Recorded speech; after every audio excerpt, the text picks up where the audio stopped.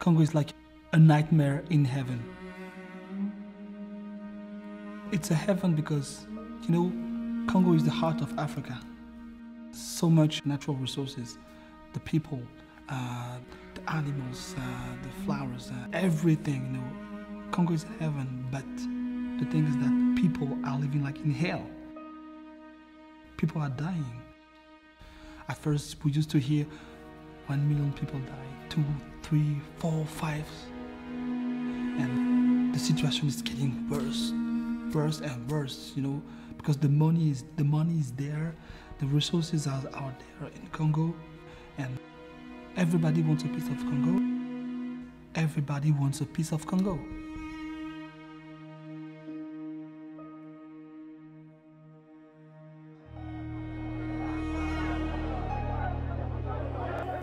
People living hand to mouth in one of the most mineral rich countries in the world? The Congo produces more than a billion dollars of gold alone each year. And the cobalt and the tin and the copper and the tungsten, all of that we're benefiting from, but yet we're silent.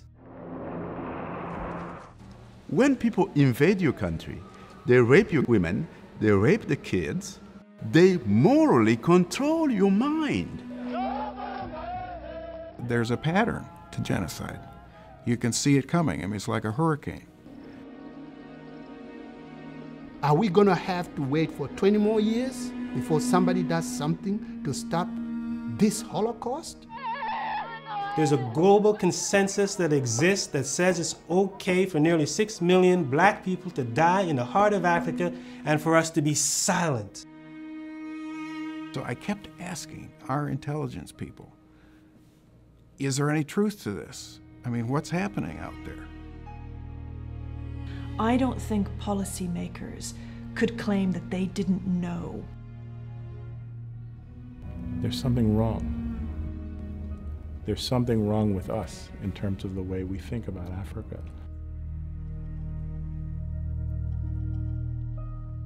The story of Congo is often overlooked for its complexity. It's a story where boundaries are porous and national identities mean little.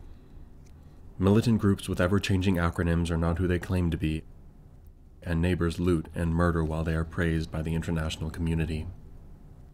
But the death toll is now surpassing that of the Holocaust, in part because of the way the United States is involved in Central Africa. Now facing a critical juncture in their history, the Congolese people need us to change the way we're involved so that they can have the space to start rebuilding their country.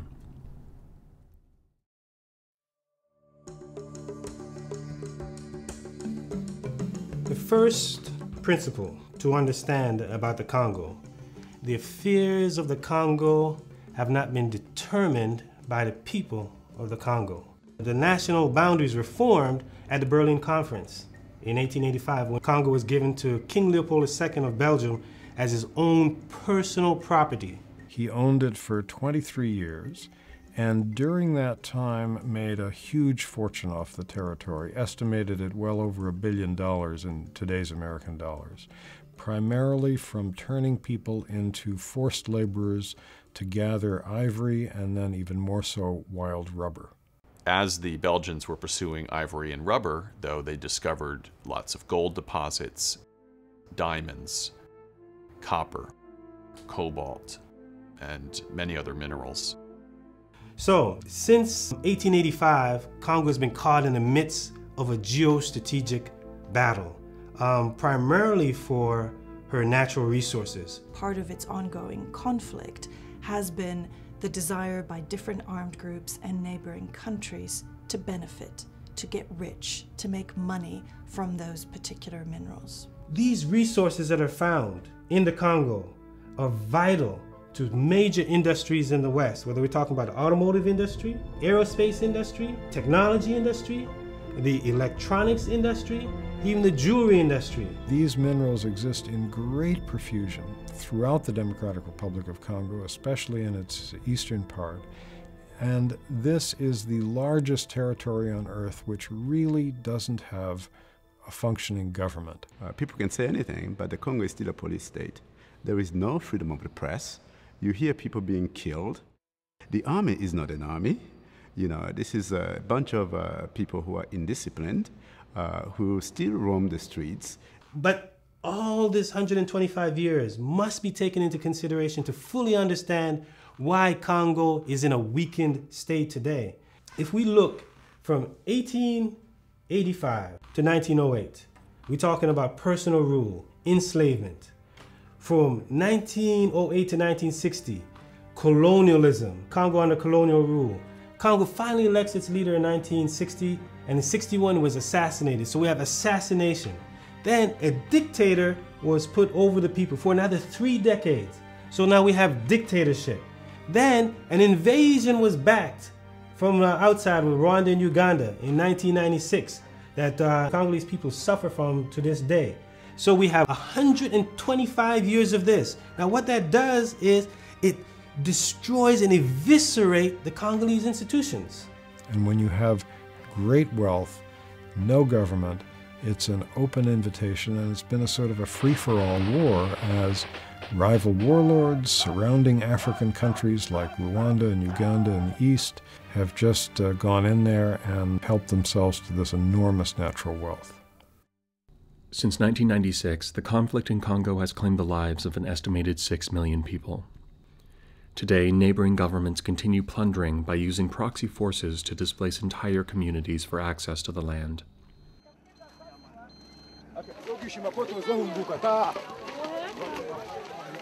Wako wanasema ni rako Darfur iko Rwanda, inatokea Rwanda inakuya mpaka huku. Eh? maeko mambo ya kusema oh, rarako ndio iko napigana, basha shuka mpaka hivi. kiumba yote donc kiumba iko hapa nayo inatombe njoki, ona population yote ya kiumba wote wanakimbia. Scenes like this are often misunderstood as simply the result of an ethnic war, a mistake that only benefits those trying to hide their illegal exploits. It has nothing to do with ethnicity. They killed Congolese like they were flies. You see how people, you feel a mosquito and you just hit? That's exactly how they killed. It did not mean anything to them how they were killing the Congolese, as long as we can just wipe them out and get access. I mean, the, the mines exist. People used to live in those areas. Have we ever asked who was living where the mine was before? Did the mine just show up? No, there were villages where those mines were. From 1996 to the present, an estimated 6 million dead. Abject poverty. People living in bestial conditions. Hundreds of thousands of women systematically raped as a strategy of war. Rape happened to be one of the, the weapon that worked the most because as soon as you, you destabilize a community, you rape the the entire village, the women of the entire village, in front of the children, in front of the husband, in front of the neighbors, that community is broken completely. Because the men cannot look at the wives in the eye and, and, and say, we, didn't, we were unable to protect you. And the women cannot survive that trauma. Congo is one of the worst places in the world to be a woman or a girl. And one of my recent trips to Congo, I, I met up with a young girl who was 15 years old. She um, had been violently raped by one of the rebel groups, and she had been held for three months in a hole in the ground, in a pit, naked. And every day, another combatant would come and rape her. She was only 15. She realized at one stage that she had fallen pregnant and then they killed her best friend who was in the pit with her. There were two of them. And she had to stay in that pit with the body for six weeks, unable to climb out of the pit, knowing that she was pregnant and still being raped day in, day out.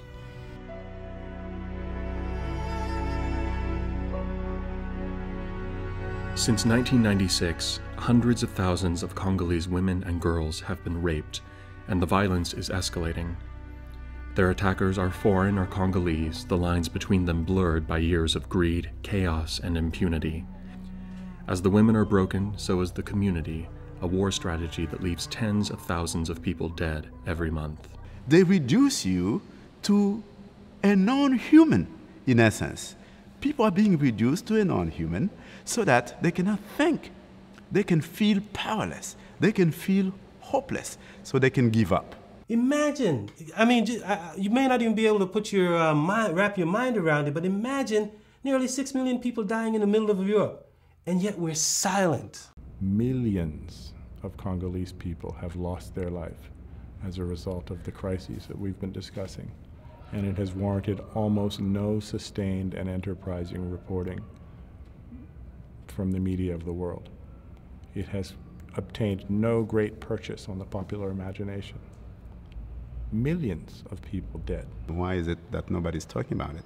This is the same international community that said, you know, when there was a Holocaust, uh, that no more uh, genocide would take place, and yet the same community left Rwanda genocide take place, and uh, yet those who committed genocide in Rwanda crossed over in the Congo, and the Congo has become the victim, the victim of what happened in Rwanda, and and what the international community didn't do to stop it. In 1994, the international community failed to stop the Rwandan genocide and effectively punish its perpetrators. Since then, violence in Central Africa has escalated, along with a growing culture of impunity. If you don't hold to account those who carry out these horrible atrocities, it leaves the door open for them to do more. Free to flee the country, hundreds of militants crossed over into Congo for fear of retribution from the Tutsi led rebellion that took power in Rwanda. The militants were hidden among millions of predominantly civilian Hutu refugees trying to escape the violence in their country. The refugee camps, which had over a million people in them, were being controlled by these very same genocidaires, these people who had committed the genocide. Paul Kagame, who led the Tutsi rebellion and was now in charge of Rwanda, saw these militant refugees as a threat to Rwandan national security. He came to Washington, D.C., and essentially said if the international community is not going to do it, we're going to take things into our own hands. The U.S. had no official res- response to that, which he interpreted as a green light. In the absence of justice, a terrifying cycle of revenge was about to take hold in Congo as Paul Kagame's army prepared to massacre what many experts estimate to be hundreds of thousands of refugees. And reports started coming in about atrocities that had been committed, in which they had slaughtered thousands of Hutu civilians. Um, now, believe me, I have no sympathy whatsoever for these genocidaires, these uh, Interahamwe guys who had, uh, you know, committed the genocide in Rwanda. But the civilians, obviously, the children, the women, are you kidding? Why, why would they be victimized by this? These Hutu were not combatants. They were not people under arms. They were elderly, they were women, they were children, they were sick people who were killed in a systematic and highly motivated way. And the UN knew about it almost in real time. The UN knew, the US government knew, I believe other governments knew as well. They did not make an effort to openly investigate those or not good enough. They allowed investigations to be blocked and they didn't push it.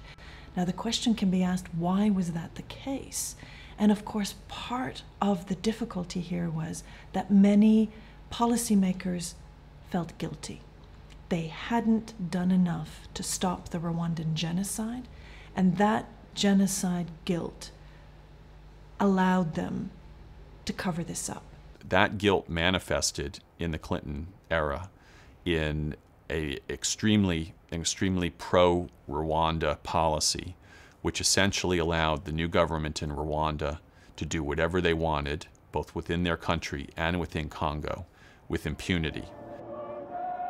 With the leaders of the United States and the United Nations looking the other way, Kagame proceeded with a full scale invasion of Congo with his Ugandan ally, Yoweri Museveni.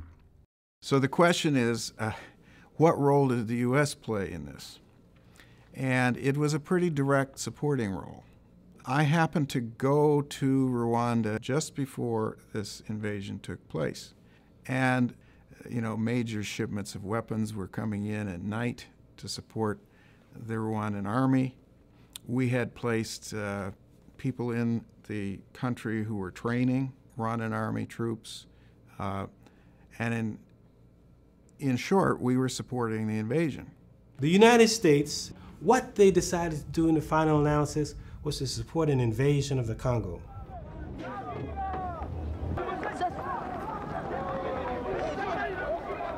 In this case, you had Rwanda and Uganda invading their neighbor, plundering it of its natural resource wealth, and suffering no sanctions at the United Nations Security Council. And you have to ask why, and it's because uh, they had the very strong support and backing of the United States, United Kingdom, and other governments.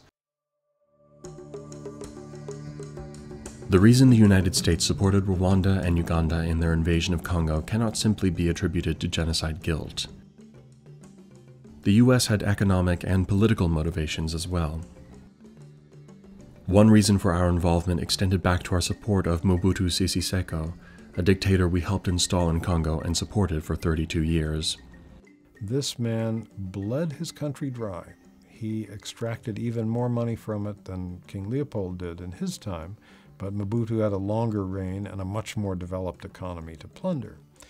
And the United States was deeply complicit in that because we supported Mobutu lock, stock, and barrel. But after the Cold War ended, essentially in 1989 1990, many of his backers, including the United States government and the French government, essentially abandoned him. Uh, he became a liability to them because he had such a bad human rights record.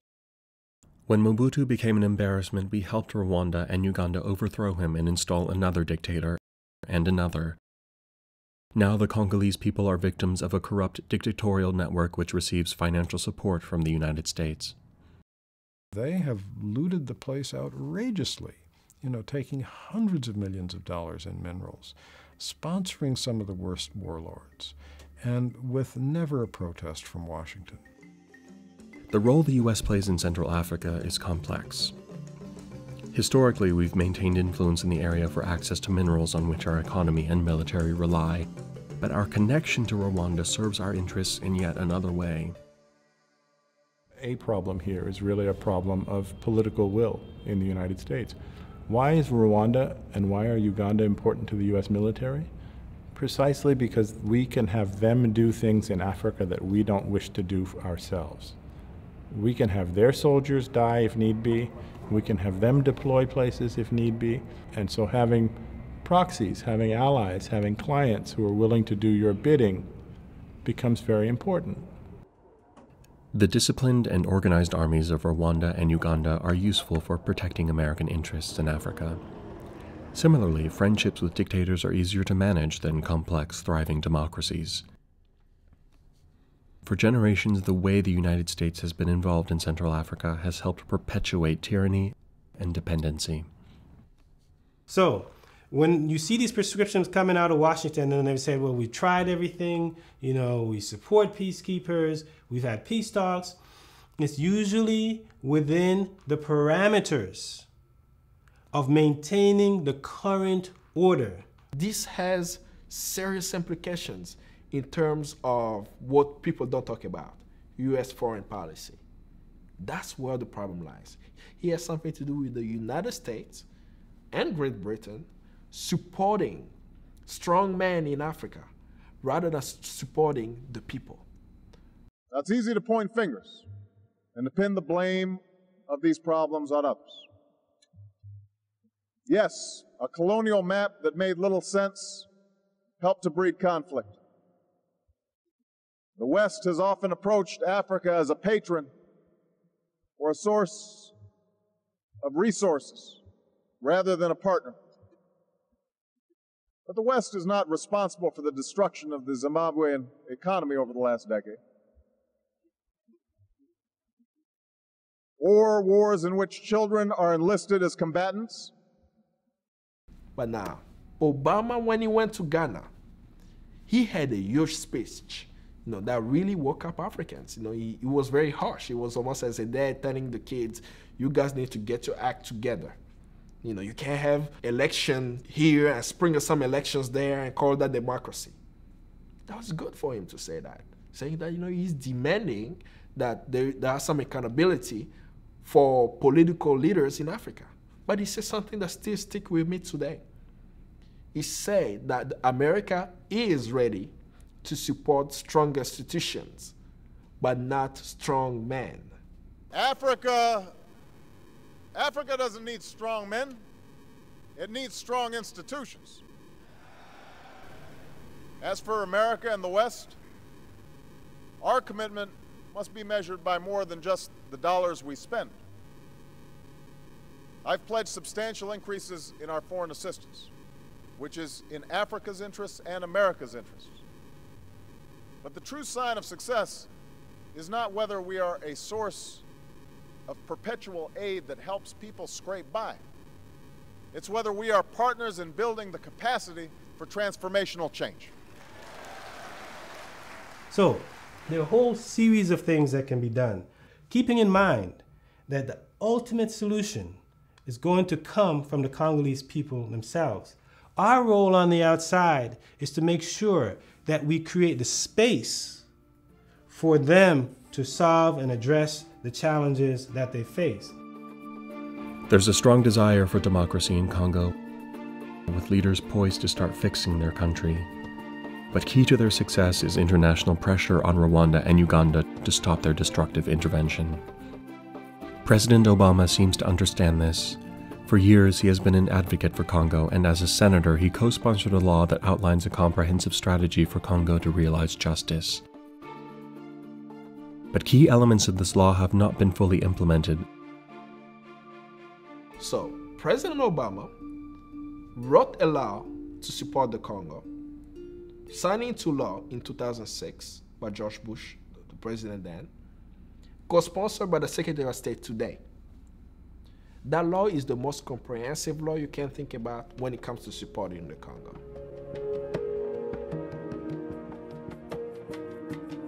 Now we have a law that says that the Secretary of State has the power to withhold aid to any nation deemed to be destabilizing the Congo if she has sufficient evidence that this country is doing so. We have so many evidence on Rwanda and Uganda, and we even have a leaked UN report that all the Secretary of State have to do is read it and say, okay, we are not going to support you. But since 2000, the United States have given Rwanda $1 billion. The leaked UN report is calling this government a genocidal government. Why is the United States supporting a genocidal government? And it doesn't have to be that way. You, don't, you do not have to slaughter millions of people to get access to the cobalt for your colored television, or access to the cobalt for your aerospace industry, or access to the copper for your automobile industry. All right, you're dealing with the economy. You want the coltan. Man, Congolese people don't eat coltan. Congolese people can't eat gold. Talk to the Congolese people. We're going to let you get the resources, but for God's sake, stop killing the people. Stop letting Rwanda, Uganda, and Joseph Kabila kill with impunity. The situation in the Congo is not just a Congolese issue, it's not just an African issue, but it's a global issue. It's a worldwide issue. Congo is a part of the second largest rainforest in the world. It's vital to the fight against climate change. If you're concerned about climate change, you should be concerned about Congo. Half of those who have died as a result of the conflict are children under the age of five. So if you're a child advocate, if you're concerned about children, you ought to be concerned about what's happening in the Congo. If you're concerned about women, if you have a mother, a sister, you ought to be concerned about what's happening in the Congo. If you drive an automobile, or fly in airplanes, or own a cell phone, as a human being, at the very least, you ought to be concerned. You ought to say something. You ought to want to find out why this is happening. You ought to be moved to want to bring an end to it.